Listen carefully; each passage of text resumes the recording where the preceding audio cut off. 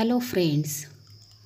Today we will see English essay on Dussehra. The Sahara will always remind us of the victory of good over bad, right over wrong. India is a country known for its tradition, culture, and festivals.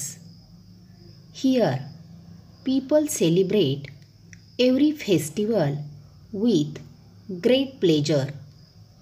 Dussehra is celebrated in the month of October or November, 20 days before Diwali. Goddess Durga fought for nine days with Mahishasura and killed him on the tenth day.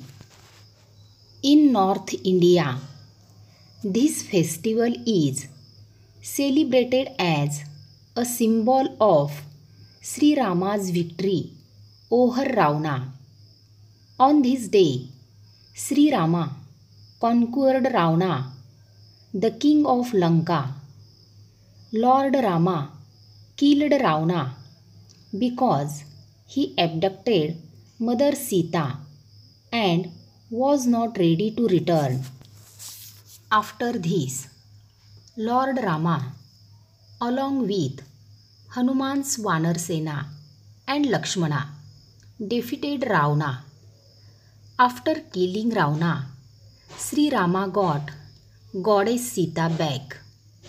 A few days before Dashahara, Ram Leela is organized at various places in which the life character of Lord Rama is displayed. There is a lot of pomp in the cities on Dussehra.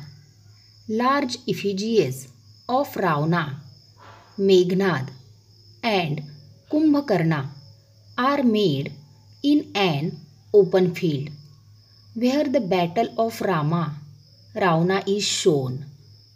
Sri Ramchandra ji kills Ravana and sets fire to the effigies. The many queens are full of bombs. People enjoy the sounds that come from the burning of effigies. It is also known as Vijayadashmi.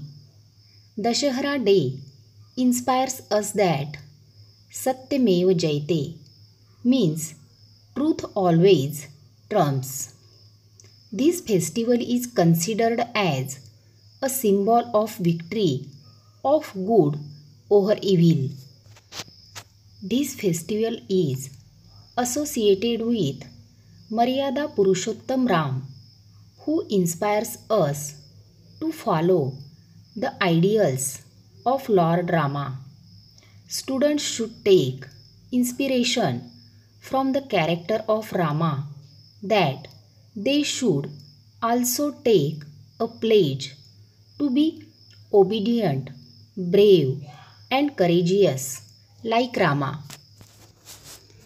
The festival of Dussehra has been declared as a gazetted holiday by the government of India so that people can enjoy the festival. Dashahara means the victory of Lord Rama over the ten major demon king Ravana. The actual meaning of the word Dashahara is the defeat of a ten headed demon on the tenth day of this festival. Dashahara is a, a time for celebration, a time for victory of good oh, over bad, a time when world see the example of power of good